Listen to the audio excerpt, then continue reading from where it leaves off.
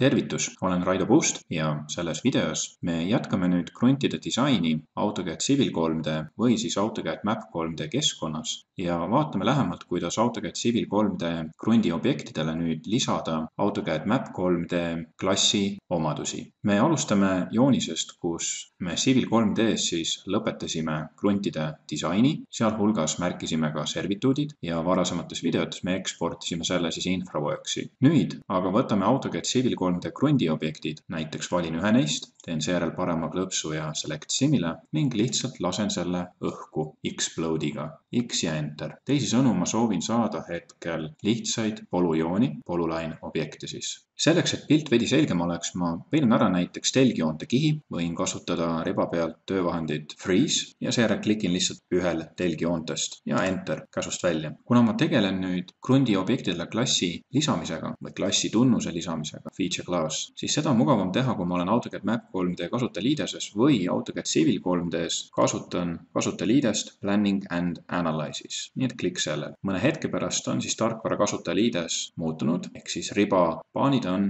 teistsugused. nüüd selleks, et ma saaksin lisada krundi klassi, pean ma esmalt sisse logima kui niinimetatud superkasutaja. selleks ma lähen map setup peale, seejärel map ja user login. tüüpiliselt seda kasutaja nime ja parooli vaikimisi ei ole muudetud, mistõttu ma kasutan kasutajanime super user ja suurte tähtedega super user, klikin OK.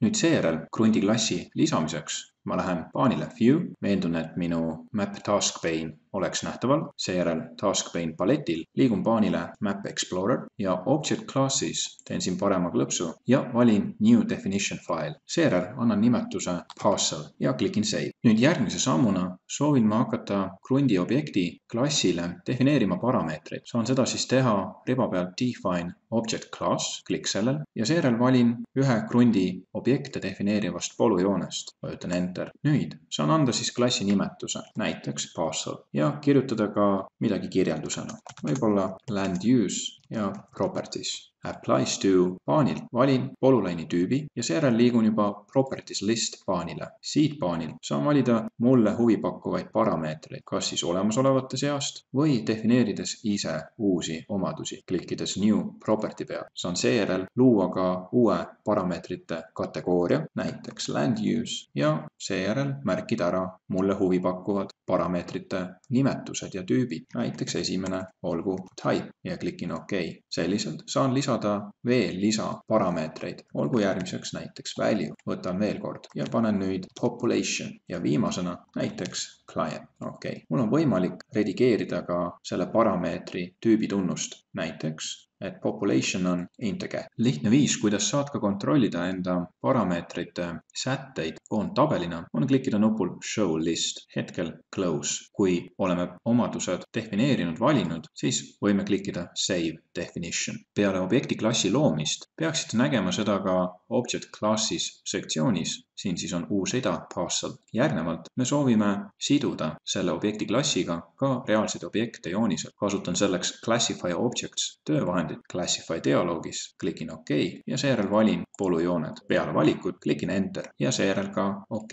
ma saan seejärel hakata enda objektidele ka lisainfot külge panema, valides näiteks polujoone ja tavalises AutoCAD Properties'e paletis on mul sektsioon Land Use ja saan siia sisestada uusi andmeid, lähtuvalt siis parameetritest, mis ma ise defineerisin. selliselt saan parameetrid lisada kõikidele enda valitud objektidele näiteks järgmine, sihestan analoogselt andmed. võin korraga valida ka mitu objekti, juhul kui nad kannavad endas samasuguseid andmeid. olles nüüd kõikidele kruntidele need parameetri väärtused lisanud, võime tagasi minna task pane peale, display manager ja siia siduda ära siis klassi tunnuse visualiseeringu. ehk siis teen siin parema klõpsu, valin data, add drawing data, object class ja seejärel dialoogis valin enda objekti klassi tunnuse, parcel, klikin OK.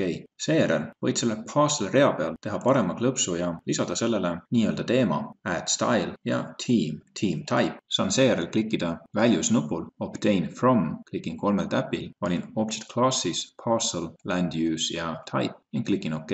kui ma nüüd klikin nupul read data, peaksin ma nägema erinevaid väärtuseid, mis ma olen siis andnud enda krundi objektidele. hetkel neid kolm ongi ja kuusteist tükki on siis ilma nimeta. Valin kõik soovitud väärtused, hetkel võtan kõik, klikin OK ja nüüd on mul võimalik lisada ka värvilahendusskeem olles color veeru valinud, saan valida ramps ja näiteks rainbow ja lisan ka viirutuse. Ramp sektsioonist võtan geometric patterns. võin seejärel klikkida done dialoogis. kui sa oled nüüd dialoogist välja läinud ja sinu pilt kohe ei uuene, siis vajadusel tee parem klõps partial peal ja vali update. seejärel peaksid juba nägema nüüd sinu objektile rakendatud stiili lähtuvalt siis parameetrist, tunnuskoodist. nüüd, kui objektidele on klassi parameetrid lisatud, siis järgmise sammuna me saame selle info üle kanda Infoworks kolmsada kuuskümmend tarkvara. selleks aga ma lähtun siin joonisest, kus siis on rohkematele objektidele need tunnused või omadused külge pandud, et oleks terviklikum see eksport. ja liigun seejärel riba peal output paanile ja soovin siis luua DVG-st STF faili. klikk sellel. ma valin seejärel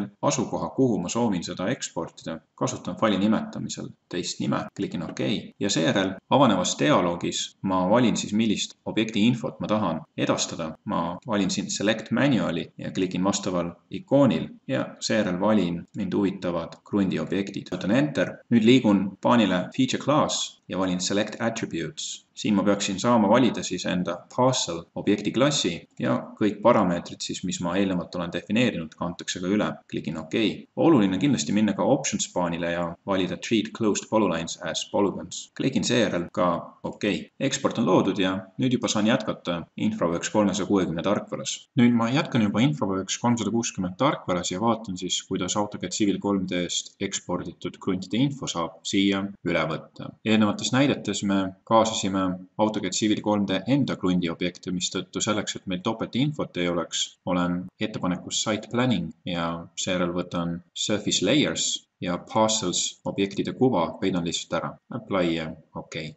Nüüd järgnevalt võin ma juba asuda STF faili importimise juurde, mille ma siis AutoCAD Civil 3D-st eksportisin ja teen seda ikka data source'is paletilt, klikin faili tüübina STF, seejärel valin faili, mille ma eksportisin, SitePlan Map 3D, klikin open ja mõistagi nüüd pean jällegi seda importi ka konfigureerima. valin kõigepealt type kui coverage areas, seejärel category ja valin siis enda lisatud parameetri type tüübi tunnus, klikin OK seejärel. nüüd source paanil kontrollin, et shape ja convert closed polylines to polygons oleks valitud, seejärel tooltip, võin panna siia property type ja näiteks category. seda infot kuvatakse siis, kui ma hiirega liigun nüüd objekti peale, jällegi lisa infokiht siis meie mudelis. seejärel close and refresh, misjärel ma peaksin juba nägema siis AutoCAD Civil 3D-st eksporditud krundi infot STF failist loetuna. Need värvitoonid on siin omakorda seotud teemakaardina, ehk siis on võimalik seda ka muuta, klikkides Analyze your model ja Feature